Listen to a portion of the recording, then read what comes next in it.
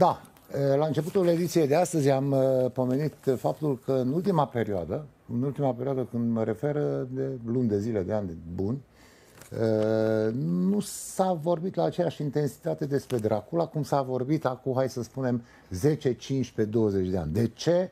Ce s-a întâmplat? Ce nu, nu se mai vinde Dracula sau ce s-a întâmplat? Îl înțeleg pe Corneliu Țepeluș, producător de film și de mai sunt și de televiziune. Yeah. Bună ziua, bine ai venit! Karen, e o onoare să fiu la TVR Cluj. Chiar mă simt bine, e o atmosferă faină, vibrație bună și sunt multe povești faine despre Dracula pentru că lumea nu știe exact de unde a pornit tot da, povestea. Înainte de a porni cu Dracula, da. permitem să te întreb. Da. De unde ai pornit? Cine ești tu, Corneliu Țepeluș?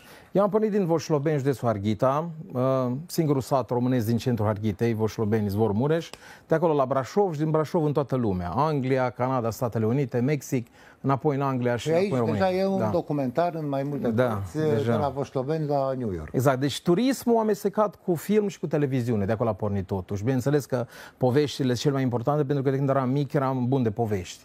La noi poveștile erau un fel de a fi, să zic așa, și spunea cineva, m-am săturat să văd oameni de succes, ceea ce vreau să văd sunt buni povestitori.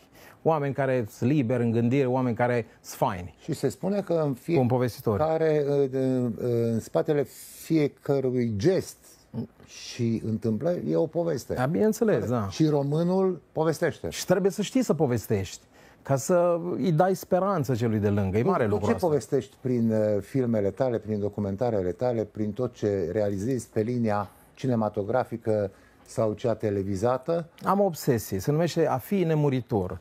A fi nemuritor înseamnă să lași ceva în urma ta, vorbesc de nume și nu e vorba de ego aici sau de o parte în asta, să zic, de orgoliu, o chestie că viața e scurtă și ceea ce să rămâne este numele numele să rămână prin povești, să rămână prin lucrurile faine care le faci pentru cei de lângă, lucrurile faine care le faci pe partea de a ridica comunitățile și de a pune în valoare țara din care ești sau locul din care ești. Am greșit uh, când am pedalat la începutul discuției noastre pe tematica Dracula. Care da. e legătura între Țepeluș și Dracula? Pe undeva găsim noi o Există. legătură cu țeapa, da? Există și istorică, fără să exagerez, stai că mi-a fost profesor de istorie și un nepot de-a lui Vlad Țepeș s-a numit Țepeluș. Basarab nu cel pot tânăr. să cred, mă ridic da. de aici și ies din platou. Exact, Basarab cel tânăr s-a numit Basarab Țepeluș. A avut patru domnii scurte după Vlad Țepeș. Deci există Vlad Sepeluș. Deci nu știu cât de mult sunt legat de povestea aia, că taică mi-a făcut o, fel, o legătură între, între Vlad Sepeluș și numele nostru Sepeluș. Nu știu dacă aș fi înrudit cu Vlad Sepeș, dar a existat Vlad Sepeluș. Hai zi de Dracula, că da. ne interesează. Deci... Odată să-mi spui de ce nu s-a ocupat piața, între ghilimele, de tema Dracula, așa cum s-a, era preocupată la începutul anilor 90. Ți aduce aminte? Perfect. Bineînțeles, știu toată povestea. Și de ce e așa într-o... Pentru că românii nu știu să-și facă marketing, nu știu cum să-și pună în valoare lucrurile și povestea lui Dracula e foarte simplă. Oriunde te duci, la Rio de Janeiro, la Tokyo, la New York, oriunde te duci, la Cape, Cape Town, toată lumea a auzit de Dracula, toată lumea a auzit de Bram Stoker. Da? Eu lucrând în turism, l-am cunoscut pe Dacre Stoker, care se străsă nepotul lui Bram Stoker. Ce este? Stră, stră, stră, nepotul lui... Stră, stră, stră de trei ori stră, da? Stră, stră, stră, nepotul lui Bram Stoker, Dacre Stoker. El este și canadian. Da, da, lucrând în turism. Și el, el este canadian, dar trăiește în Carolina de Sud. Uh, vorbind foarte mult cu Dacre despre Dracula, despre partea asta, ce s-a întâmplat? În 2012, un cercetător olandez, Hans de Rus, a descoperit în Rosenbach Museum în Philadelphia niște hârtii din întâmplare scrise de Bram Stoker cu latitudine și longitudine locația castelului fictiv al lui Dracula. Ce s-a întâmplat? Bram Stoker n-a fost neapărat un aventurier, normal că povestea e fictivă și locul e fictiv, da?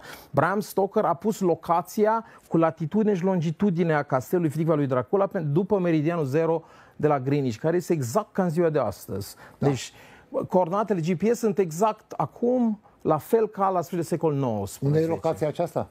În Munții Calimani. În Munții Calimani. Deci, Hans de Rus, acest olandez, cercetător, la Rosenbach Museum în Philadelphia, a găsit această hârtie scrisă de Bram Stoker cu, cu, cu, cu mâna lui. Latitudinea și longitudinea locației fictive al castelului Dracula. Și ce a făcut? Le-a pus pe hartă și a dat un deșert în Arabia Saudită. Și a zis, ce legătură are Dracula Bram Stoker cu, cu Arabia Saudită. Și a dat seama că Bram Stoker, ca să creezi un fel de mister, a învârtit numerele. Ah. Ah. Și Hans de Rus a învârtit numele și a dat exact munții Călimani. L-a sunat pe Daker Stoker. Daker m-a sunat pe mine și a zis, Cornelius, de ce a descoperit acest olandez Hans de Rus? Vine în România, pune o echipă la, la pune o echipă împreună da, da. și hai să mergem în Călimani să facem un documentar, un tip de, zic eu, lui Daker, un fel de Indiana Jones. Un, un american, canadian și român urcă pe Căliman și încearcă să caute locația și totul filmat. Totul filmat. Am stat, deci gândiți-vă că munții Călimani sunt pe patru județe. Harghita, Suceava, avem, avem și poze, dar asta e chiar Daker, filmat când filmam documentarul în Călimani. Suntem pe partea Sucevei aici, în zona Panaci, Drăgoiasa, în zona aia, suntem o zonă superbă, pentru că munții Călimani e pe patru județe, da? Suceava, Bistrița, Mureș, Harghita. Și ce se întâmplă? Am urcat pe partea Sucevei, am stat la casa Răzeșului, la Liviu Bazar Răzeșu. Da, exact. Și chiar Daker filmam uh, un documentar des, despre el.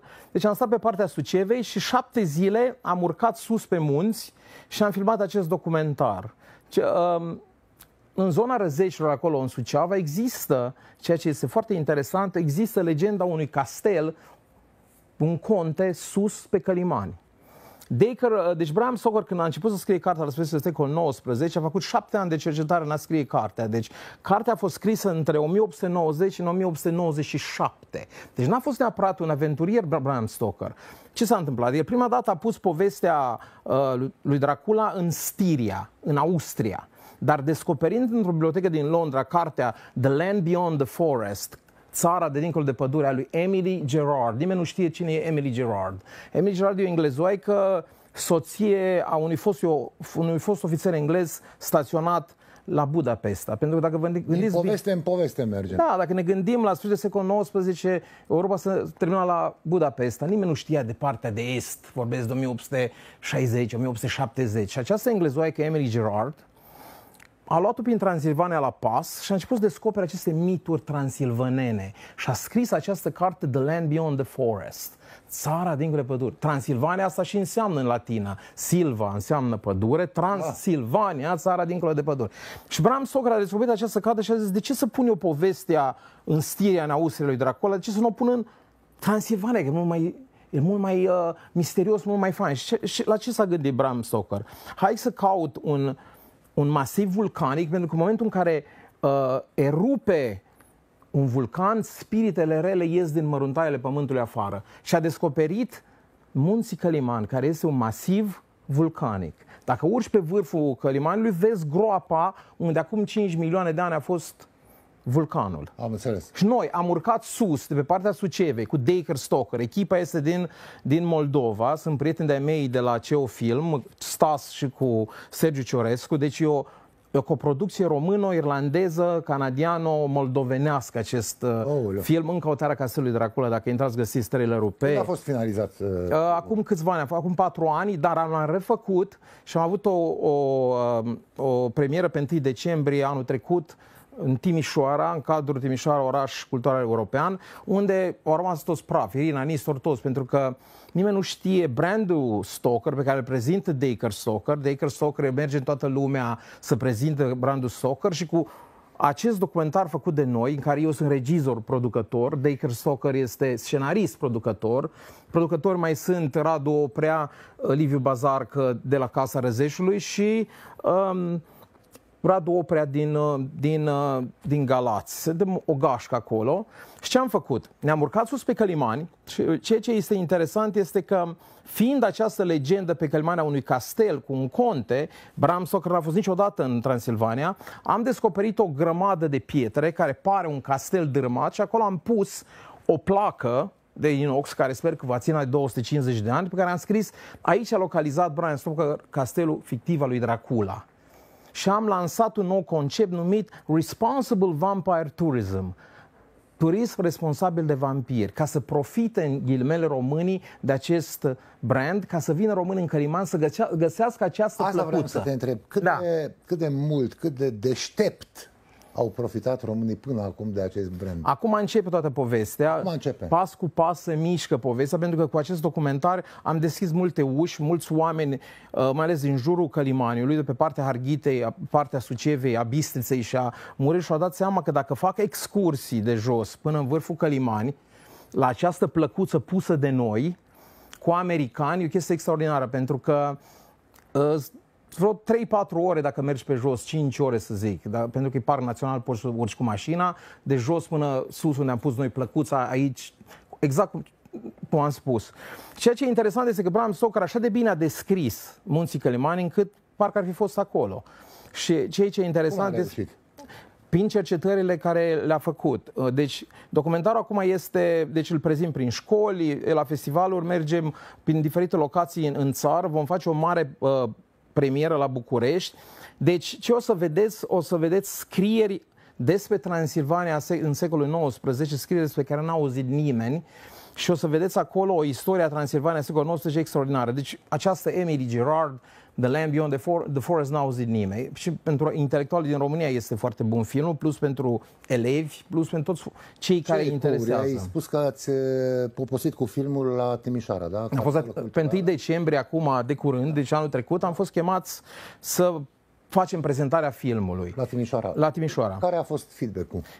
Vreau să spun că înainte de a proiecta filmul, Daker Soccer, fiind profesor, prezintă brandul Stoker. Și așa de bine îl prezintă și cum s-a ajuns, încât toți rămân perplex. Plus, după ca, uh, care vine proiecția filmului nostru, rămân toți cu gura căscată, pentru că este un film uh, intelectual, să zic așa, un film Foarte istoric. Bine că ai subliniat. Irina Nistor, de exemplu, a rămas uh, cu gura căscată, nu exagerez. Pentru că, și tu, tu știi mai bine decât mine, în mod sigur, uh, uh, foarte bine că se prezintă dintr-un alt unghi profesionist uh, brandul, povestea, da, brandul exact, și povestea. Exact, exact, exact. Din spatele brandului, pentru că au fost perioade și mai domină aceste perioade când lumea, o parte a oamenilor, când auzeau de Dracula, Vorbesc li se, părea, li se părea o chestie spirit, absolut comercială. Spirite rele, comercială, da. Pe de o parte da, da. spirite rele și pe de altă parte comercială. Dar nu e adevărat, nu e adevărat. Ei, Aici cum, este... cum combați chestia asta? Prin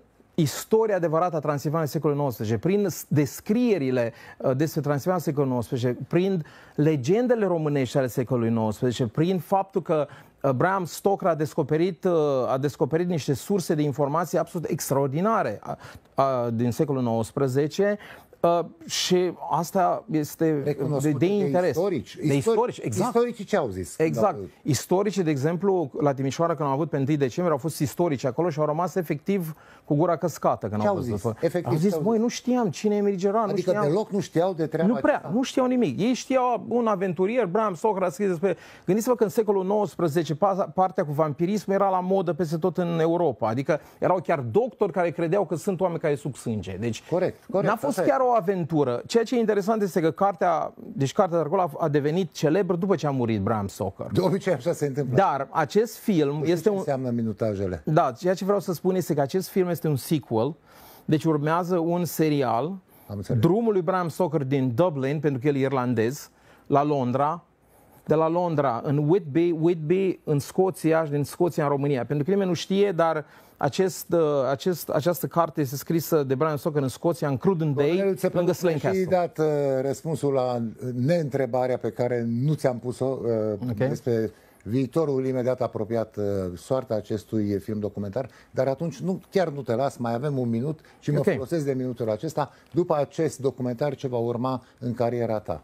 După acest documentar va urma un uh, serial despre Dracula, clar, în care vom arăta drumul lui Bram Stoker din Dublin, Londra, Whitby, Cruden Bay, Scotland și Transilvania.